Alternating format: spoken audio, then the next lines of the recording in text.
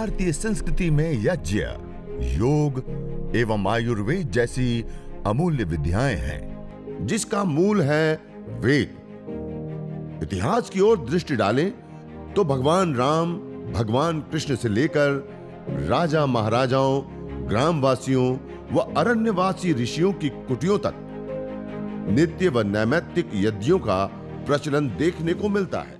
क्षयम जाति पुष्पम मधु सिद्धार्थ कावचा गण धूप इति आख्यात सर्वभूत रुजापह अर्थात पंचभूतात्मक पिंड एवं पंचभूतात्मक इस ब्रह्मांड में संतुलन स्थापित करने के लिए किसी भी प्रकार की विकृति है, रोग है, दोष है, असंतुलन है, उसको संतुलित करने के लिए गण धूप में गाय का घी, चावल, चमेली पुष्प शहद श्वेत सरसों एवं वच इनको मिश्रित करके हवन सामग्री बना करके और उसकी जब हम हवि प्रदान करते हैं और उससे उत्पन्न होने वाला जो धूम्र है, वह धूम्र सभी प्रकार के यातनादायक, पीड़ादायक रोगों को बहा ले जाता है और पंचभूतात्मक इस पिंड में और पंचभूतात्मक इस सारे ब्रह्मांड में संतुलन कायम करता है। तो आइए हम यज्ञ को अपनाएँ। विश्वानि देव सवितर्दुरितानि परासुव। यद्भद्रं तन्न आसुव। सर्वरक्षक परम पिता परमात्मा को कृतज्ञता पूर्वक प्रणाम करते हुए, नमन करते हुए, वंदन करते हुए, जिस परम पिता परमात्मा ने हम सबको यहाँ भेजा, हम सब के लिए अन्न, जल फल, फूल, औषधि, वनस्पतियों से लेकर के समस्त प्रकार के ऐश्वर्य हमें प्रदान की और इन ऐश्वर्यों के बीच में हमें कैसे जीना है? इन ऐश्वर्यों के बीच में हमें कैसे उत्थान करना है? इन ऐश्वर्यों का हमें कैसे प्रयोग करना है? इन सारी बातों को हम तक पहुँचाने के लिए परम पिता परमात्मा ने हमें वेद रूपी अनमोल ज्ञान प्रदान किया और उस वेद रूपी ज्ञान का हम स्वाध्याय कर रहे थे, स्तवन कर रहे थे, सत्संग कर रहे थे। और हम कल विशेष रूप से देख रहे थे यज्ञ की महिमा, जो वेदों में यज्ञ से संबंधित ज्ञान, विज्ञान बताया उसके विषय में कुछ चीज़ों का आप सबके सामने प्रकाश डाला था। आज आप सभी राजस्थान वासी भाई बहनों का मैं हार्दिक स्वागत करता हूँ। इस वैदिक संस्कृति, ऋषि संस्कृति, भारतीय संस्कृति जिसको आप इस प्रशिक्षण शिविर के माध्यम से अपने घर बैठे हुए आत्मसात कर रहे हैं। यह हम सब लोगों का एक बहुत बड़ा सौभाग्य है, परम पूज्य श्रद्धेय स्वामी जी महाराज, परम श्रद्धेय आचार्य श्री के अनवरत तप पुरुषार्थ के परिणाम स्वरूप। आज हम सब लोग इस वैदिक संस्कृति, ऋषि संस्कृति के साथ जुड़े हैं। और हम सब लोगों को इस वैदिक संस्कृति, ऋषि संस्कृति को आत्मसात करने का अवसर मिला है, मौका मिला है। तो हम सब मिल करके इस वैदिक संस्कृति को स्वयं भी अपनाएँ और औरों को भी अपनाने के लिए प्रेरित करें। संस्कृति समाज की जड़ होती है, जैसे पेड़ की अपनी जड़ होती है। पेड़ अपनी जड़ को छोड़ देता है तो समूल नष्ट हो जाता है, सूख जाता है। ऐसे ही समाज जब अपनी संस्कृति को छोड़ देता है तो समूल नष्ट हो जाता है, सूख जाता है, दुख को प्राप्त करता है। हमारी संस्कृति यज्ञ, हमारी संस्कृति है आयुर्वेद, हमारी संस्कृति वेद, उपनिषद, दर्शन से लेकर के जो पावनी परंपरा, जो ज्ञान की रही है, वह जिसमें चतुर्वर्णाश्रम धर्म पंच महायज्ञ सोलह संस्कार से लेकर के विशेष रूप से पर्वों के साथ जोड़ करके हमारी संस्कृति अनमोल है, विशेष है, जो हमारे तन, मन, बुद्धि, प्राण, पर्यावरण से लेकर के संपूर्ण अस्तित्व को शुद्ध, पवित्र, सुगंधित, सुव्यवस्थित को एग्जिस्टेंस में रखने का काम करती है। इसलिए वैदिक संस्कृति अपने आप में विलक्षण संस्कृति है। इसलिए परम पूज्य श्रद्धेय स्वामी जी महाराज बार बार कहते हैं, सह अस्तित्व, एकत्व और विश्व बंधुत्व की यह संस्कृति है। को एग्जिस्टेंस वननेस ब्रदरहुड कहने का अभिप्राय है कि यह जो वैदिक संस्कृति है, ऋषि संस्कृति इतनी विलक्षण संस्कृति है कि जो जीव मात्र का हित, समष्टि का संतुलन, सब चीज़ों को ध्यान में रखते हुए। जैसे मानव जीवन का उत्थान, जैसे कोई भी चीज़ हम बनाते हैं तो उसके एक रूल होते हैं, एक नियम होते हैं, उसके लिए एक बहुत सारा प्रोटोकॉल होता है। ब्रह्म यज्ञ जिसमें संध्या, उपासना, वेद आदि सत्य शास्त्रों का स्वाध्याय, सत्संग, और उसको जीवन में धारण करना। यह है ब्रह्म यज्ञ। इसी प्रकार देव यज्ञ, जिसको अग्निहोत्र कहते हैं, जो पंचभूतों को पोषित करने के लिए, देवीय शक्तियों को तृप्त करने के लिए, प्राण और पर्यावरण को संतुलित करने के लिए और ऋणों से उऋण होने के लिए विशेष रूप से देव यज्ञ, दैनिक अग्निहोत्र किया जाता है। इसी प्रकार से पितृयज्ञ माता, पिता गुरुजन, आचार्य आदि, जिन्होंने हमें सिंचा है, जिन्होंने हमें बढ़ाया है, जिन्होंने हमें खान पान की व्यवस्थाओं से लेकर के, जन्म देने से लेकर के, ज्ञान देने तक सब कुछ हमारे लिए किया है ऐसे माता पिता गुरुजन। उनके प्रति कृतज्ञ रहना, उनकी आज्ञा का पालन करना उनको विशेष रूप से आदर देना, सत्कार देना। यह है पितृयज्ञ।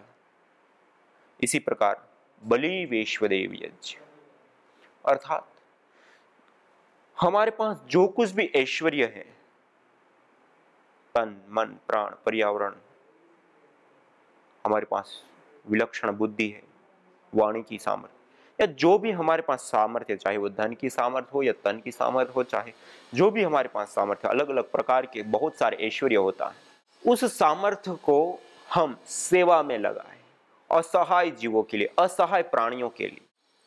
बलि वैश्वदेव यज्ञ, बलि वैश्वदेव यज्ञ, विशेष करके असहाय जीवों के लिए किया जाता है।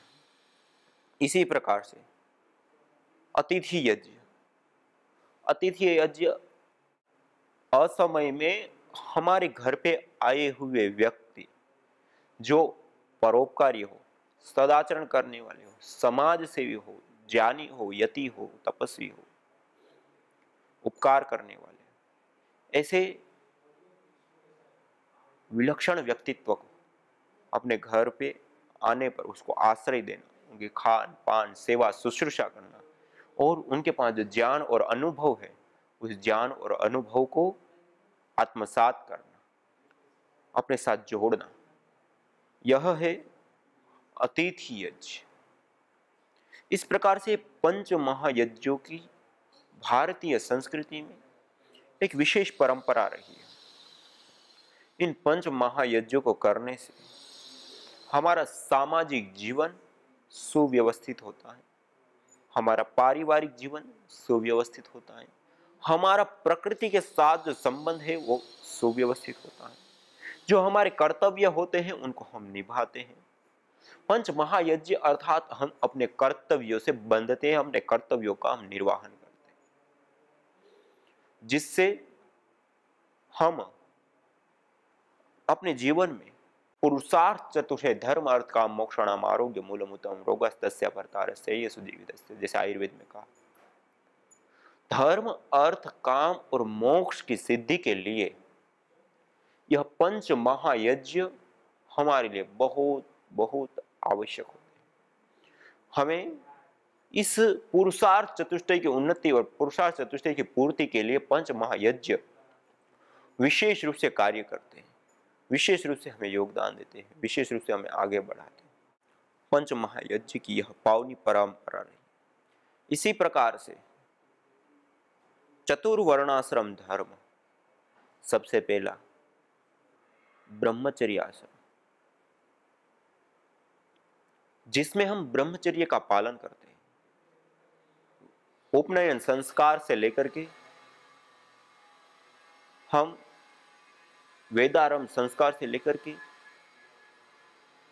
जो अन्य संस्कार है नौ, वह संस्कार उस अवस्था में किए जाते हैं। और ब्रह्मचर्य अवस्था में हम विशेष रूप से वेद, उपनिषद, दर्शन आदि जो श्रेष्ठ ग्रंथ हैं, उन वेद और वेदादि शास्त्रों का अध्ययन, अध्यापन करना। यह है ब्रह्मचर्य काल जिसमें हम विशेष रूप से विद्या की उन्नति करते हैं, हमारे मस्तिष्क का पोषण करते हैं, अर्थात जो हमारी शक्ति है, हमारे बल है, उसको बढ़ाते हैं। व्यायाम आदि करके शारीरिक बल बढ़ाते हैं। सत्संग, स्वाध्याय, भजन आदि करके हम भावनात्मक बल बढ़ाते हैं। इसी प्रकार से गुरु के सानिध्य में रह करके गुरु उपदेश और गुरु शिक्षाओं से आत्मबल बढ़ाते हैं। विद्या अध्ययन करके विद्या का बल बढ़ाते हैं, बौद्धिक बल बढ़ाते हैं। इस प्रकार से हम सभी प्रकार के बलों को गुरुकुल वास करते हुए, ब्रह्मचर्य अवस्था में रहते हुए हम विशेष रूप से सारी शक्तियों के, सारे बलों को हम बढ़ाते इसको कहते हैं ब्रह्मचर्य अवस्था ब्रह्मचर्य अवस्था एक रूप से तप की अवस्था। उस समय हम तप करते हैं, तप अर्थात शक्तियों का संचय करते हैं। हम वीर्यवान बनते ओज तेज, ऊर्जा, शक्ति सामर्थ्य से युक्त होते हैं। वाणी, विद्या वाक कुशलता से लेकर के हर प्रकार की जो भी हमारे लिए अत्यंत आवश्यक सामर्थ होती है उस सामर्थ्य को हम विशेष रूप से बढ़ाते हैं। इसी प्रकार से दूसरा गृहस्थाश्रम, जब हम सभी शक्तियों से परिपुष्ट हो जाते हैं, उसके बाद हम गृहस्थ काल में आते हैं। गृहस्थ काल में आते हैं तो पाणी ग्रहण संस्कार आदि जो संस्कार होते हैं, वो हमारे संस्कार संपन्न होते हैं, जिसको हम शादी विवाह आदि कहते हैं। जब वह संस्कार हमारे संपन्न होते हैं, उसके बाद एक अलग कर्तव्यों के साथ हम जुड़ जाते हैं। तब हमारे एक अलग उत्तरदायित्व हो जाते हैं।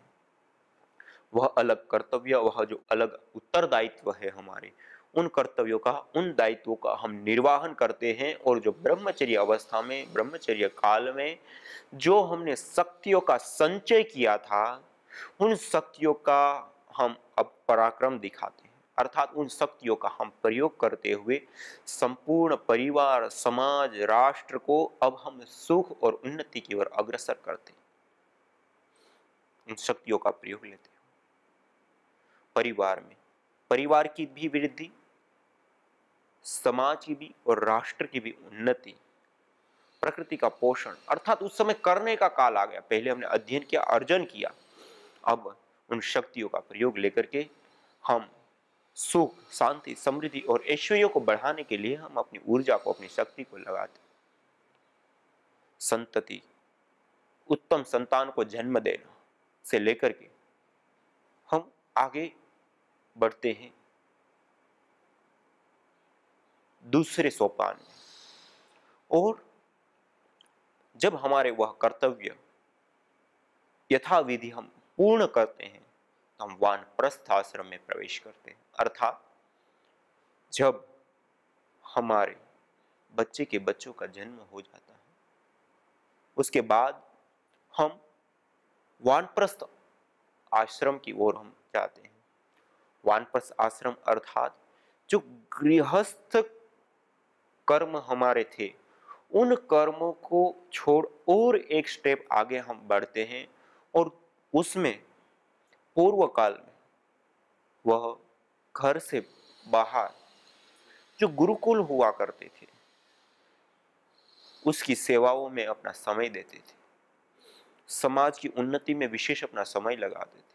अर्थात वानप्रस्थ अवस्था वह अवस्था होती है जिसमें घर, परिवार आदि से संबंधित जो सेवाएँ थी, उससे मुक्त होकर के अब हम जो सामाजिक हमारे उत्तरदायित्व है, राष्ट्रीय हमारे उत्तरदायित्व हैं, उन उत्तरदायित्वों को विशेष करके निभाने के लिए और उन ऋणों से उऋण होने के लिए हम अपना योगदान देते सामाजिक सेवाओं को संपन्न करते घर से निकल करके जंगल की ओर हम आगे बढ़ते हैं, परिवार आदि से जो अलग अलग संबंध होते हैं उन संबंधों को हम छोड़ते हैं और केवल प्रभु से ईश्वर की ओर संबंध विशेष स्थापित करते हैं। स्वाध्याय, सत्संग, उपासना, ध्यान, संध्या, भजन, सत्संग एक आध्यात्मिकता की ओर हमारी प्रवृत्ति वानप्रस्थ आश्रम से विशेष रूप से शुरू होती। वानप्रस्थ आश्रम में हम विशेष रूप से साधना की ओर और, सेवा की ओर अपना झुकाव होता है और उस प्रकार के हमारे कर्तव्य होते हैं। साधना और सेवा करते हुए मन में वैराग्य का उद्भव होता है। और धीरे धीरे साधना सेवा करते हुए चित्त की शुद्धि होती है और उसके बाद हम पिछहत्तर साल के आसपास पहुँच जाते हैं। उसके बाद का जो हमारा समय होता है उसको संन्यास काल कहते हैं। अर्थात अब वान प्रस्थे हम, संन्यास की ओर आगे प्रवृत्त होते हैं। और संन्यास आश्रम में जाकर के हम सभी प्रकार के जो उत्तरदायित्व हैं, सामान्य, उनसे मुक्त होकर के, विशेष करके, खास करके ईश्वर उपासना, ध्यान, संध्या, भजन स्वाध्याय। और सेवा। आदि अर्थात विशेष रूप से आध्यात्मिक हमारी उन्नति कैसे हो इस वो हमें अग्रसर करते हैं। और संन्यास अवस्था में हम परिव्राजक की तरह, पहले तो हम अरण्य में जाकर के वानप्रस्थ में रहते थे, हमारा खुद का सारी चीज़ होती लेकिन जब हम संन्यास अवस्था में आते हैं तो उस समय जब हम संन्यास अवस्था में आते हैं तो उस समय हम इन सारी चीज़ों का त्याग करें और विशेष करके हम परम पिता परमात्मा को ध्यान में रखते हुए, परम पिता परमात्मा की उपासना करते हुए, परम पिता परमात्मा को सर्वत्र दर्शन करते हम सब और विचरण करते हैं। सब और परोपकार का, कल्याण का भाव प्रसरित करते हैं। स्वाध्याय सत्संग के माध्यम से हम एक वैराग्य की उत्तम स्थिति तक हम पहुँचते हैं और जो सारी आसक्तियाँ होती हैं, विषयों के प्रति, उन आसक्तियों को हम त्यागते हैं और धीरे धीरे धर्म, अर्थ, काम और मोक्ष की सिद्धि जो कही धर्म पूर्वक पहले हमें धर्म का अर्जन किया, ब्रह्मचर्य अवस्था जो काल होता है, उसमें वेद आदि सत्य शास्त्र का अध्ययन आदि करके और शक्ति का अर्जन करते हुए हमने धर्म क्या है, उसको हमने जाना। फिर धर्म पूर्वक हमने ब्रह्मचर्य के बाद जब हम गृहस्थ अवस्था में आते हैं तो गृहस्थ अवस्था में हमने विशेष करके हमें ज्ञान अर्जन जो किया था और जो ऊर्जाएँ अर्जन की थी, उसको हमने विशेष रूप से क्रियान्वित किया। अर्थात जो पहले हमने ब्रह्मचर्य काल में धर्म का अर्जन किया, उसी धर्म पूर्वक हमने अर्थ और काम की सिद्धि, अर्थात अपनी इच्छाओं की सिद्धि करते हैं। और संन्यास अवस्था में हम मोक्ष की ओर अग्रसर होते हैं, अर्थात सभी प्रकार की जो आसक्तियाँ हैं, उससे मुक्त होते हुए हम आगे विचरण करते हैं और आगे हम बढ़ते हैं।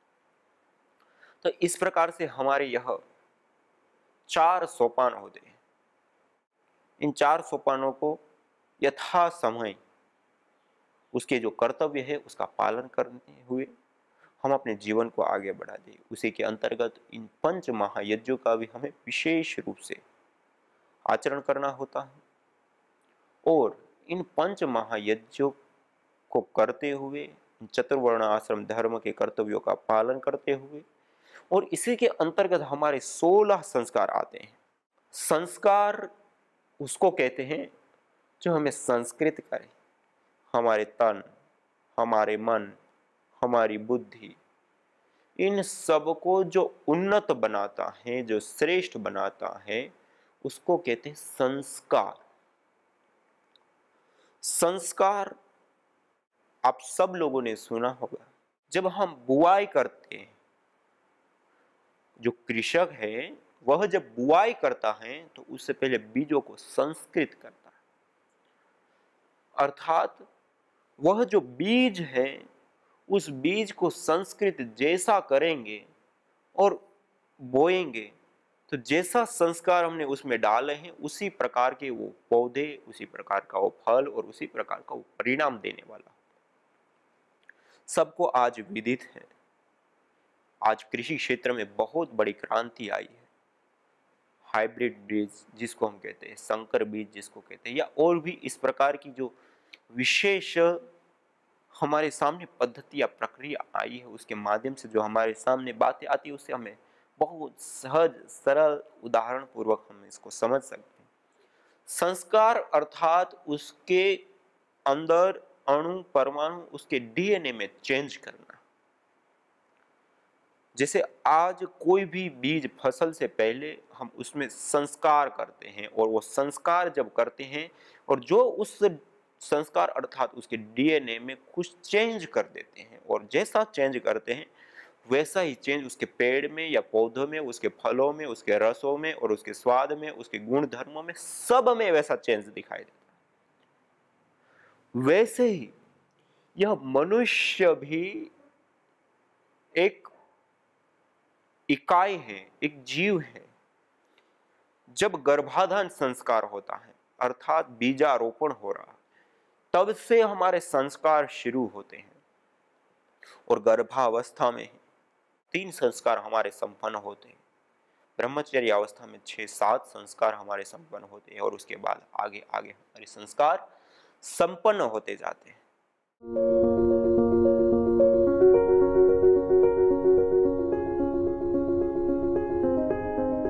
मुंबई शहर में घाटकोपर स्थान पर मैं योग वर्क चलाती हूँ। कि हम पहले हवन करते हैं, यज्ञ करते हैं और उसके बाद हम क्लास शुरुआत करते हैं। तो ऐसे ही हमने यहाँ पर कैंसर जैसे जो पीड़ित हैं, उन्हें हमने पूरी तरह से फ्री रखा है।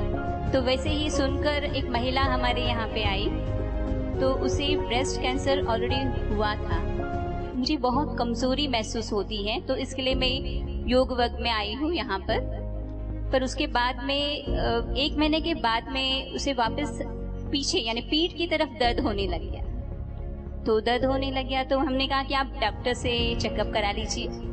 पर जब चेकअप कराने गई तो डॉक्टर ने उसे कहा कि जो कैंसर आपको ब्रेस्ट में हुआ था, वो पीछे आपकी मेरुदंड में फैल गया है, आपकी पीठ में पूरा फैल गया है। तो अब आप तो एक महीने के ही मेहमान हैं। धीरे धीरे आपका चलना फिरना बंद हो जाएगा।